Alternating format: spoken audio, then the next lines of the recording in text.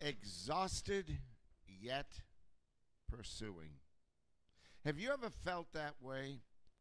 There have been some times when I have felt exhausted in the work of the Lord, but still pursuing God's plan for my life. And many times we do feel that way. But uh, what I want you to really understand here is God says, keep pursuing. Don't give up doing what God has told you to do, even though everything turns against you.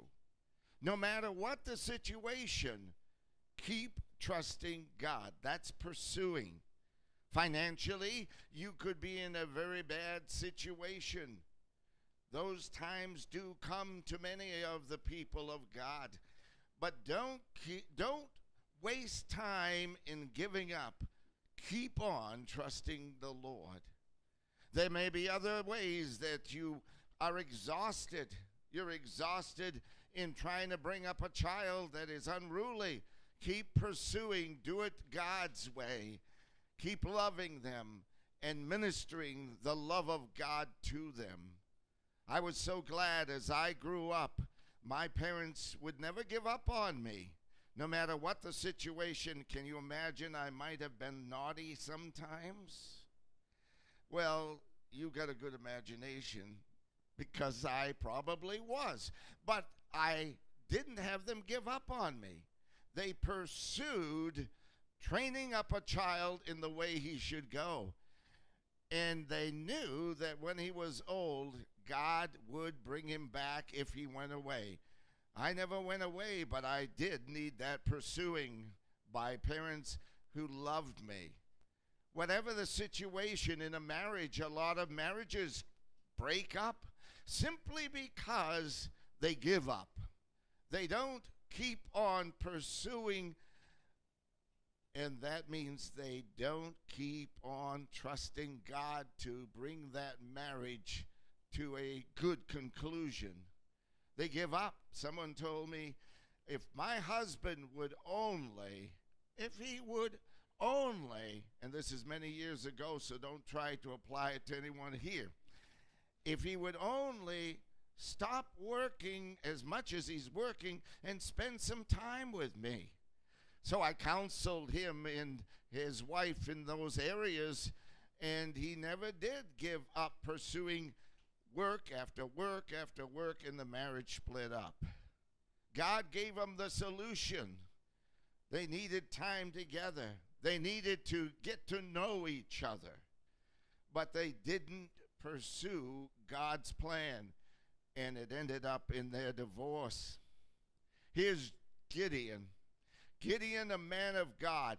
Gideon was not the kind of individual you'd think would be the best pick for God. And neither are we, but he still picks us. God will take the individual that the world says is a loser, and God will transform that individual into a light that changes people around them because it's the gospel light.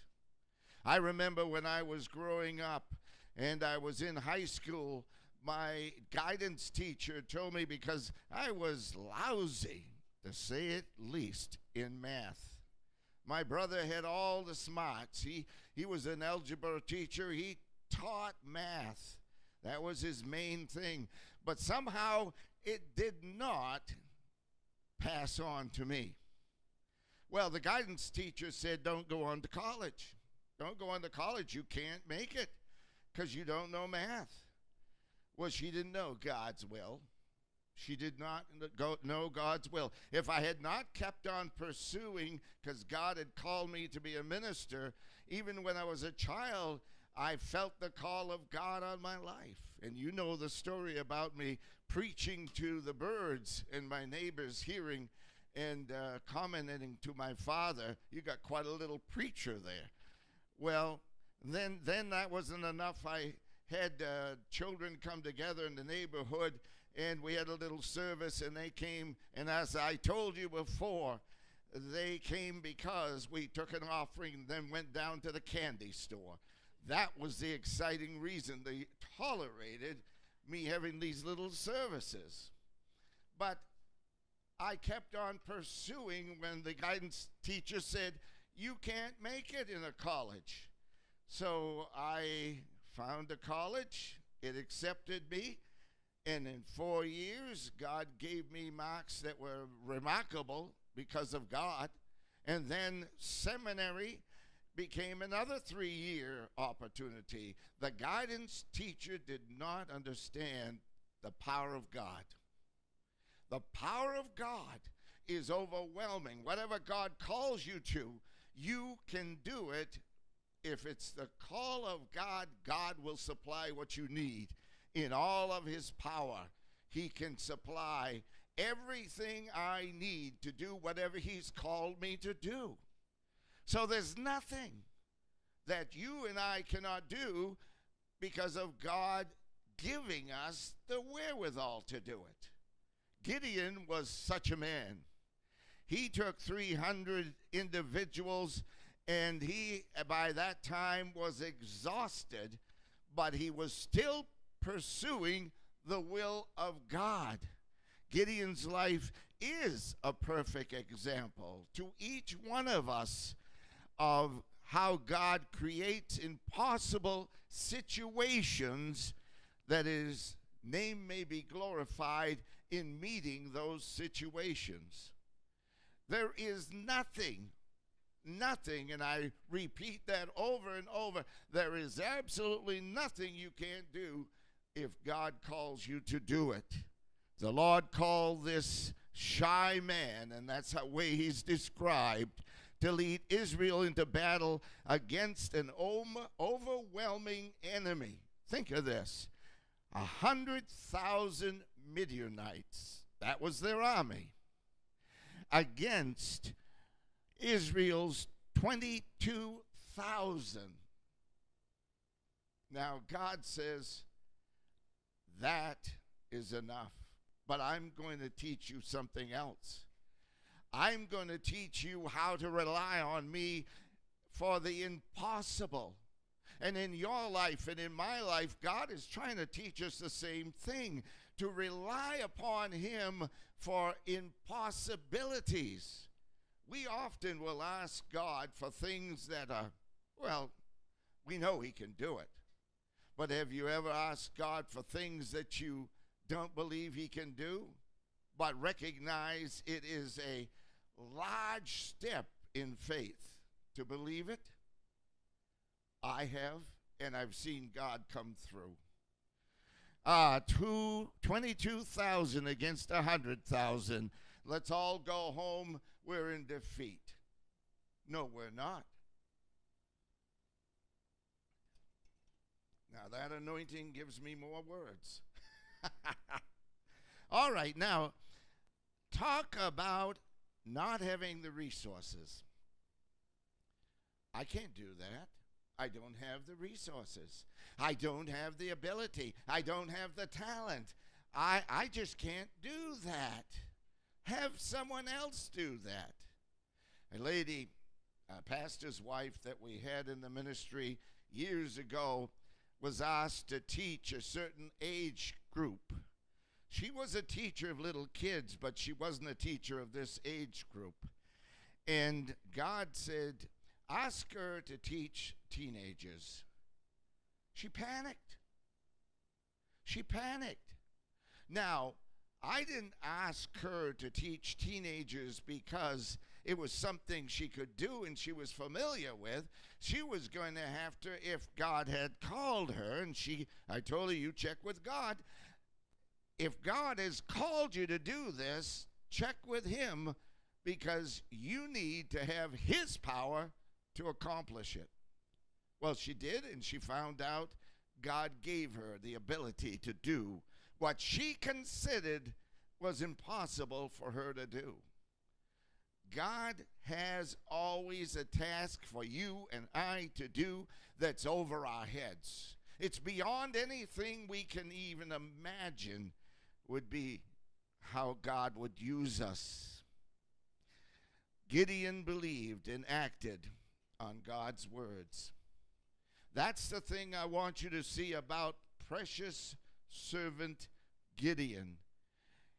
He knew he couldn't do it, even when he had 22,000. But he said, If you tell me to do it, I'll do it. Whatever you tell me to do, I'm going to endeavor to do it because I know you can give me what I need. But God wasn't through with Gideon. God made an even more impossible task for him to do. 22,000 against 100,000. Well, God, you can certainly win that battle, and it wouldn't be our strength, it would be your strength. But God isn't going to leave it at that size. He's going to reduce it and keep on reducing it. I see four great lessons in Gideon's story. Four great lessons for you and for me. Lesson number one on the screen limited resources never limit God. Limited resources never limit God. We have limited resources in this ministry, but we have all we need to do what God has chosen us to do. Whether it's financial, whether it's spiritual, whether it's an emotional situation, I have all I need if I will trust God. But God's going to test my faith. Your faith is at one level right now, and God wants to deepen your faith as He wants to deepen my faith so that we become men of God that believe Him and women of God that believe Him. And i I'm afraid with a lot of people in the church, they have limited God and therefore they have not experienced what God has truly for them in spiritual growth. God is never limited in his resources when he calls us to do something. Now, you've got to be sure he calls you. But when you know he calls you, don't start looking inward. Start looking upward. Whatever God calls you to do, and I'll say it throughout this message, you go to God for the power and the strength to accomplish it so that you give praise to the Lord. You give all praise to the Lord because you know you didn't do this without God doing it through you. The grace of God is all I need. If we were in Gideon's shoes, we might think this statement Lord, you've got to deliver right now. We need reinforcements. We need better weapons. And you know what, God? We need more supplies. Otherwise, we haven't got a chance. You don't need any of those things. We think in America we need a strong army, and I'm all for strong armies. But we don't need that to succeed if God is for us we have the ability of God to do that which we cannot do. Israel in the seven year war, think about that, seven day war, excuse me. They didn't have the ability to win, but they won. Think of it. Returning to Israel as a nation when that was impossible, they were scattered throughout the world. But God had predicted it was going to happen, in a certain time frame, and it happened as God said. Not because of their strength, but because of God's strength. God maneuvered situations to establish his nation. In the last administration, he maneuvered Trump to make Jerusalem the capital of Israel as far as the world was concerned, as far as they were, were concerned, it was already. But that was a fulfillment of prophecy. It isn't a political situation, it's God doing the impossible when it's His chosen time to do it. The Word of God makes it very, very clear that God has to be in the equation. If we're going to have victory, God has to be the one that gives us that victory. What did God do in this situation with Gideon?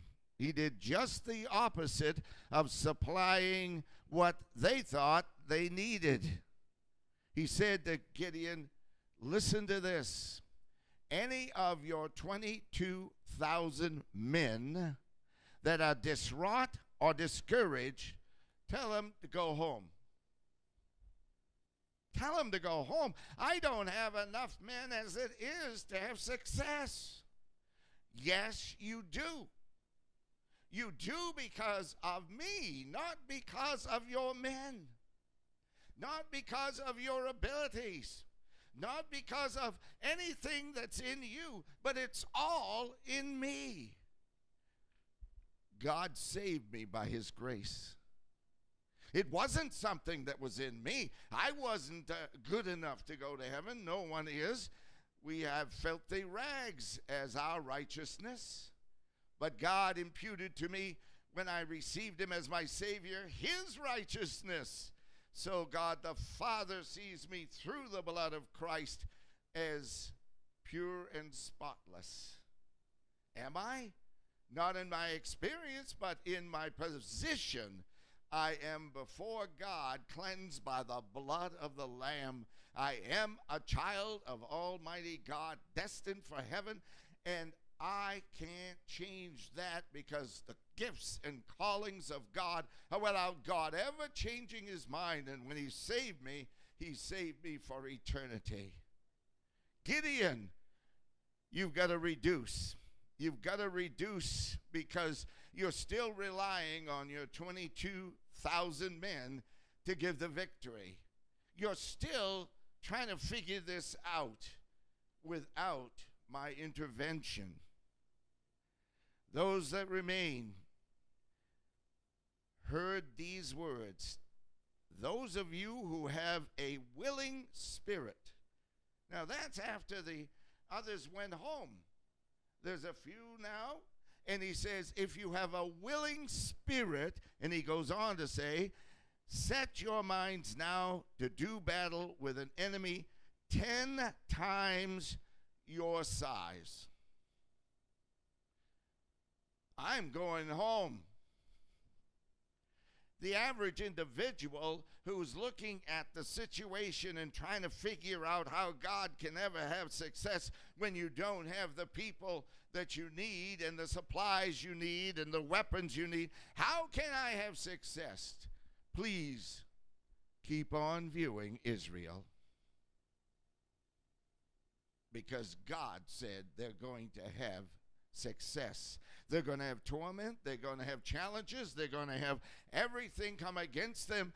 But He will establish His kingdom one day with His people. And we will be there at that time.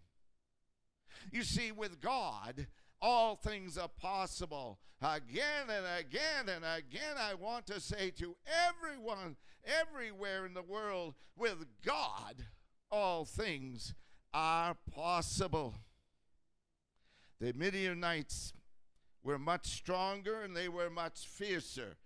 They were like some of the fierce people that are coming against Israel today. But this is what he said. But you, you have me on your side.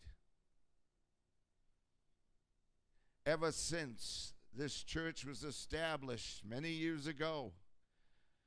It has gone up, gone up, gone down, gone up, gone down, had trials, had tribulations, but then God gives success and a new challenge.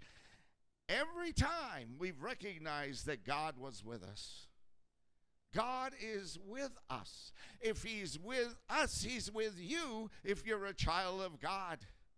Keep on Keep on pursuing. Don't become distraught at the situation or circumstances in your life. Say, with God, I'm going to succeed. I'm going to succeed. Number two on the screen God often limits our resources to ensure he receives all the glory. He limits our resources, our abilities, so that he gets the glory. Jesus is not going to let you and I get the glory. We get some honor for being the servants of God, but he gets the glory. All glory to the King of Kings, the Lord of Lords. He is the one that deserves the glory. And we simply serve him because we're his servants by faith in Jesus Christ. If you were Gideon and you were in his shoes, would you believe that? Would you believe that? Would you believe that God is going to come through for you when God keeps doing things that seem to indicate you're going to have defeat? Well, the Word of God goes on to say God often limits our resources, and I gave that to you to ensure He receives the glory. Don't forget that. All glory belongs to Jesus Christ. Here is where God made things even more difficult for Gideon. God isn't through testing our faith. He isn't through trying to mature us in our faith. He isn't through until the day we go to heaven to be with Him. He told him in Judges 7, verse 2 The people with you are too many. What? They're 10 times greater than us. And you want us to reduce again? I cannot give the Midianites, he said, into your hands because you're going to boast. You're going to boast that you did it in your own strength. When I realized this is God speaking, that you can't do it in your own strength any longer, and you acknowledge that. When you acknowledge you can't give up alcohol if you're an alcoholic in your own strength, you cannot give up any vice you have in your own strength, and you've tried and tried and failed and failed. You can't even keep a New Year's resolution if you make them. I'm going to reduce you to the place where you know I need Jesus. I need Jesus. My need I now confess. So the Word of God says, some of our battles, number three on the screen, exist to teach us to worship.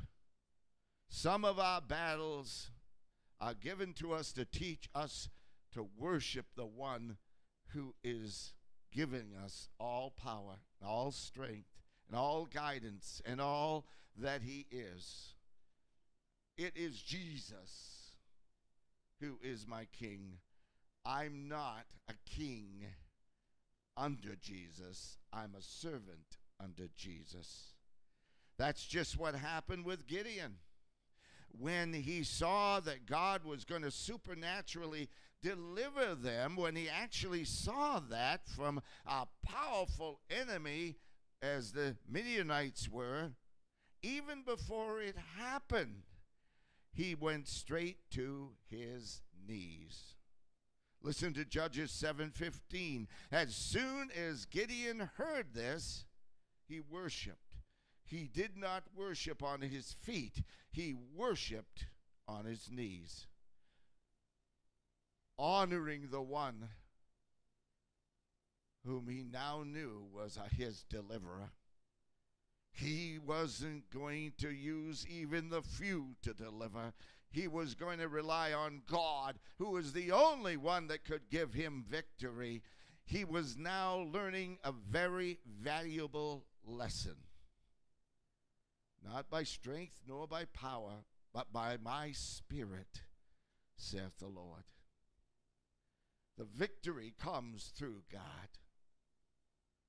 I finished seminary in victory finished my first church in victory, finished this church.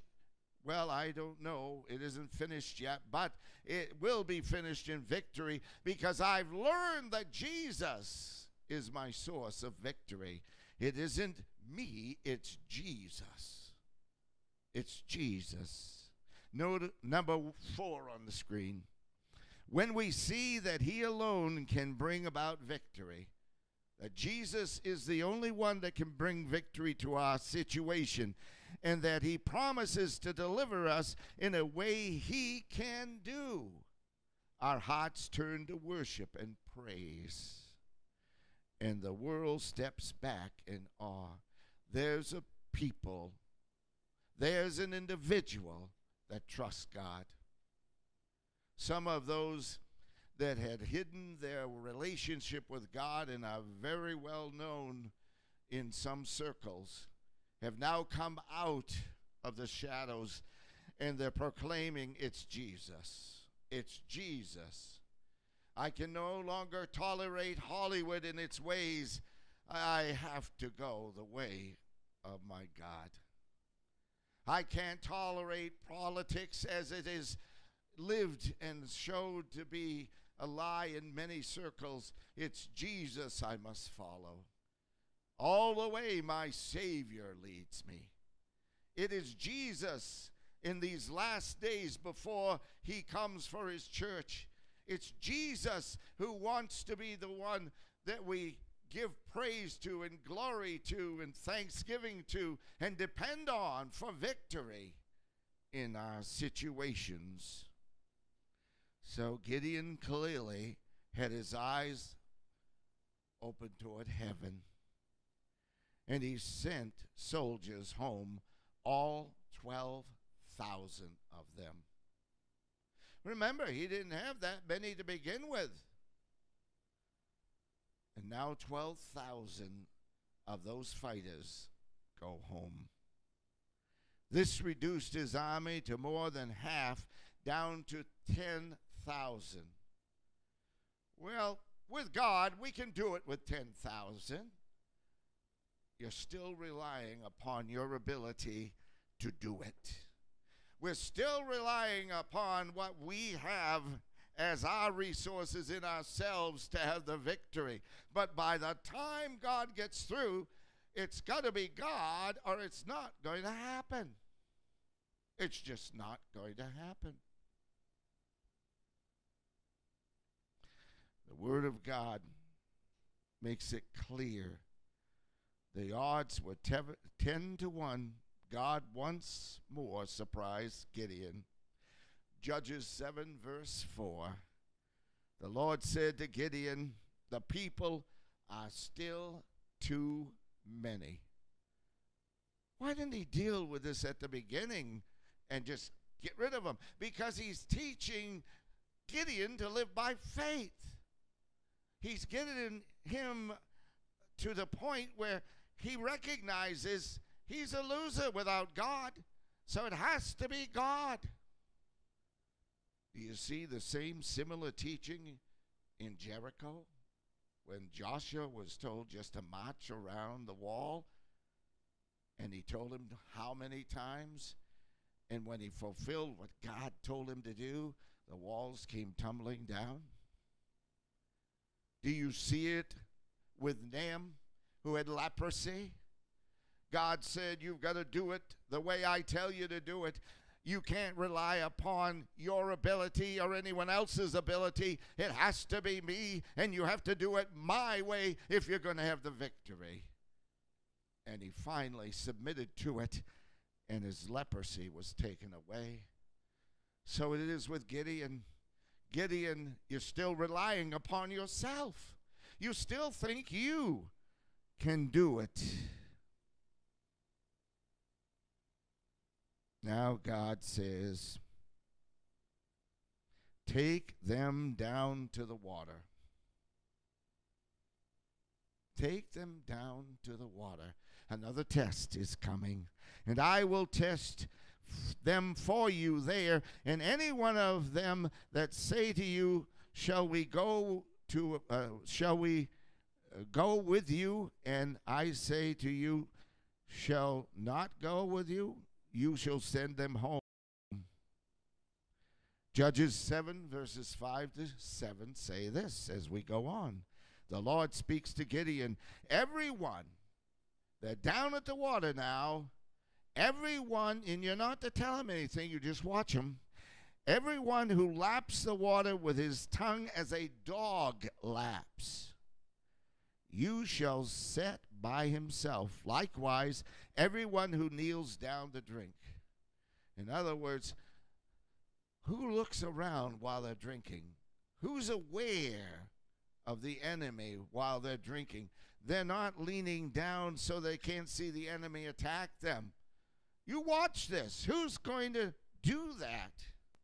Well, the Word of God goes on to say so clearly that God says, the ones that do it the way that they should, watching for the enemy, they're going with you. But the ones that just lean down and drink with their heads down toward the water, send them home. Gideon, he didn't want to look. He knew that so many were leaning down and not lapping the water and watching. They were simply bowing their heads, and they would not have known if the enemy came upon them like a flood. With that, God set into motion his supernatural plans. God has a plan.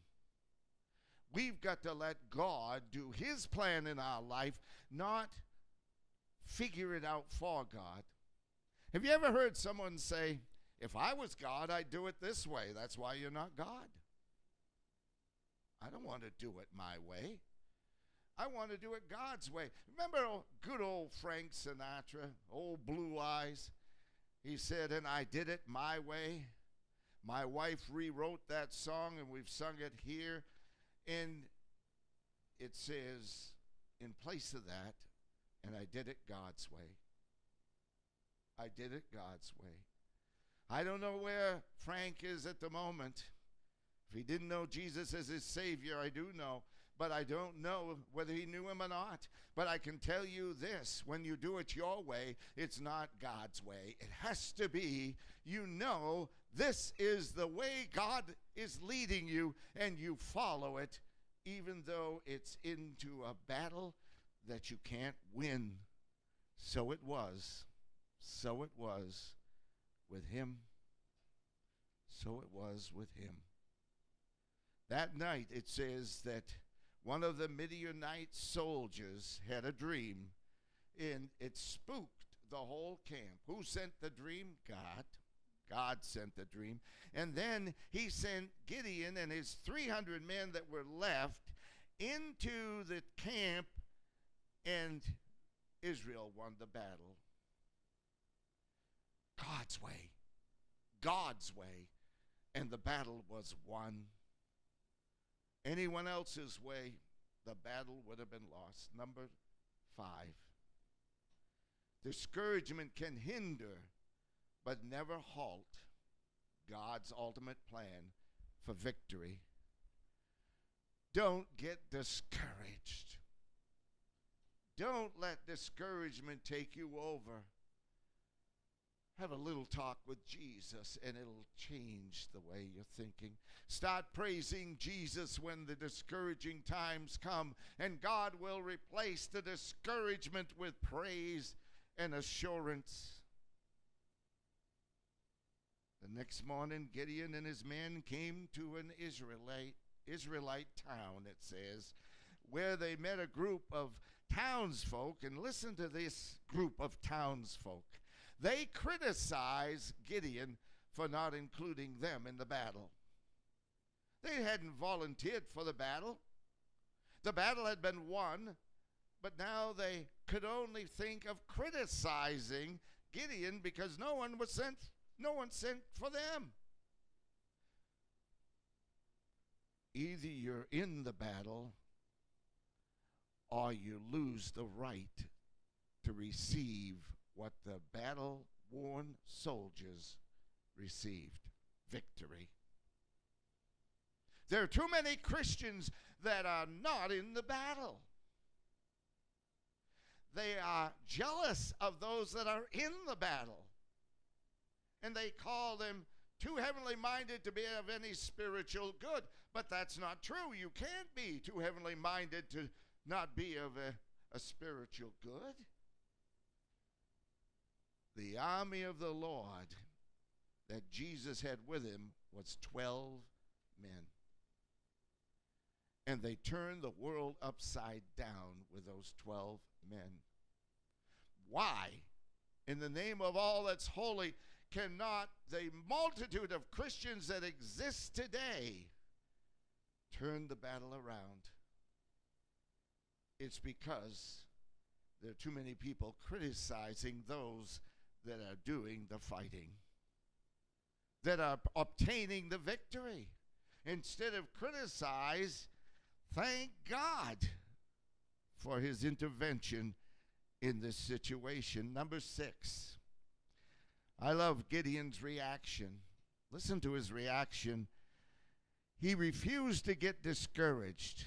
Instead, he, instead, he praised the men for their desire to be part of it.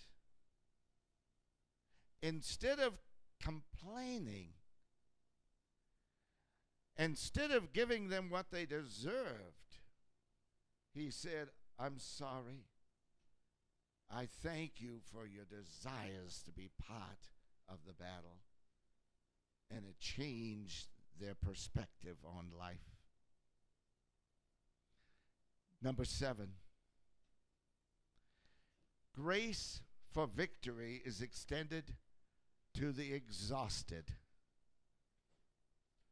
Grace for victory is extended to the exhausted. What an incredibly draining day Gideon and his men had. Yet Gideon had more than exhaustion to face. The trial was not yet complete. Gideon and his men were pursuing the Midianites when they came to a certain town and asked food for the 300 men they were refused by this town.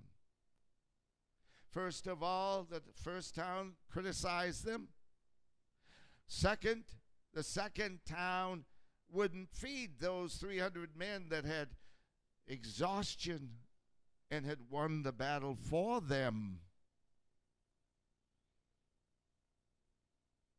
Lesson number three Grace for victory is extended to those who are exhausted. Number eight, even in the face of more exhaustion and hunger, Gideon knew that God was about to bring victory. He had come to the place where he now depended on God for the victory. May the same be true of us as we continue to trust the Lord through our difficulties and our problems, our very hard circumstances. Let's remember that when God is through, we will praise Him. We will praise Him. Number nine, lesson number four God doesn't stop at half a victory. God never stops at half a victory. When we follow Jesus, we can't settle for a partial victory because we're exhausted.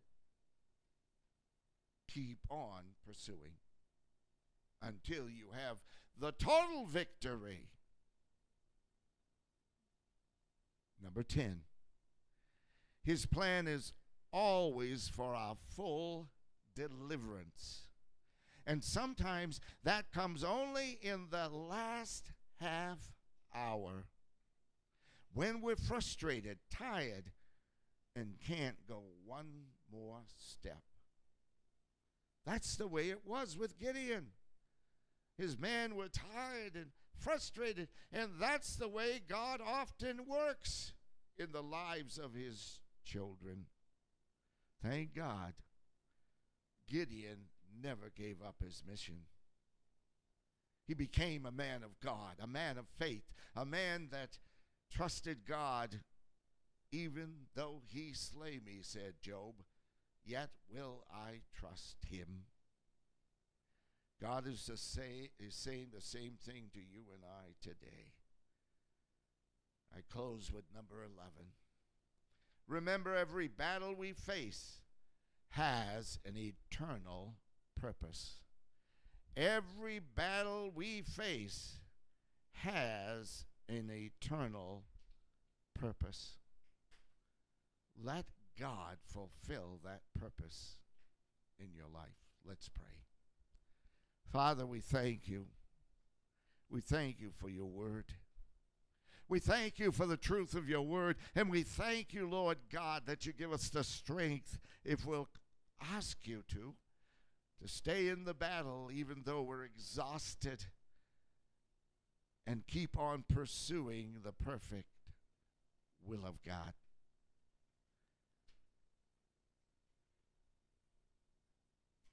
Right now, I'd like to speak to those who have never received Christ as their Savior. You need to make that decision. There may not be much more time for you. And even if there were, you may never feel the Holy Spirit tugging at your heart and soul to receive Jesus Christ as your Lord and Savior. It's a simple thing. God wants to save you, but you have to acknowledge your sin and ask Him to save your soul. And when you do and you mean it, He'll never let you go. You may be exhausted in pursuing the plan of God for your life, but He'll hold tight to you, and you will have the victory. If you're a Christian and you've given up pursuing because you're exhausted, don't. Renew your walk with God and continue to follow Him no matter what the situation or the circumstance. Ask Jesus to make Himself very apparent to you and give you a welcome home like the prodigal son re- received because he loves you. Father, just bless your word and these invitations in the name of Jesus Christ our Lord. Amen.